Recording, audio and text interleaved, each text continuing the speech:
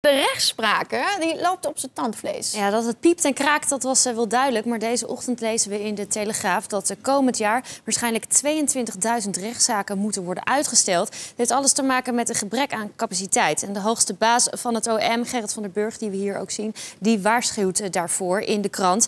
Hij zegt dat hij zich zorgen maakt over het vastlopen van de rechtsketen.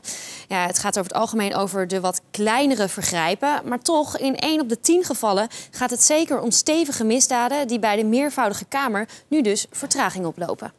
Dan heb je het echt over toch wel stevige drugszaken, uh, ook mishandelingen, uh, bedreigingen, wapens. Voor slachtoffers is, uh, is zo'n strafproces belangrijk voor de verwerking. En ja, als je dan heel lang moet wachten, of zelfs als er strafkorting wordt gegeven omdat je te lang moet wachten, is het natuurlijk heel vervelend. En het is ook richting de maatschappij. Het is belangrijk om mensen te straffen voor de genoegdoening. En als je dan zo lang wacht, dan is dat natuurlijk een heel verkeerd signaal.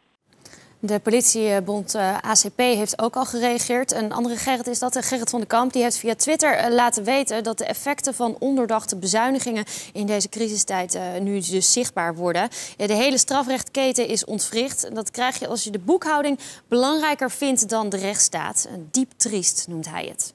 Het is natuurlijk vooral voor, voor slachtoffers is dit vreselijk, uh, Joost. Hm. Hoor jij ook dit soort verhalen zelf terug? Ja, want het gaat natuurlijk hier al om een gemiddelde wachttijd van 14 maanden, geloof ik. Dat wist ik nog niet eens. Maar dat je dus meer dan een jaar moet wachten überhaupt om een beslissing te horen. Kijk, slachtoffers zijn altijd gebrand op van hoe staat het met mijn zaak, wanneer komt het voor. En het niet horen is vaak een heel groot probleem. Mm -hmm. Maar als je dan ook telkens weer hoort, nee, het is weer uitgesteld... of er wordt toch nog weer iets ingetrokken... of uh, de advocaten vinden weer een weg om het uh, zus of zo.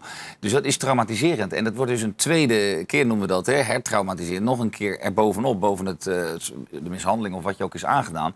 Dus het is, ja, het is inderdaad bezuinigingen. Maar het is ook dat je nu in deze tijd met zoveel ingewikkelde zaken... Hè, drugszaken, cyberzaken, internationale circuits... waar je zo'n Tagi-zaak, dat vreet aan de capaciteit. Dus daar moet denk ik veel meer geld bij, inderdaad, om het goed te, te breien. Meer geld dus, zeg jij.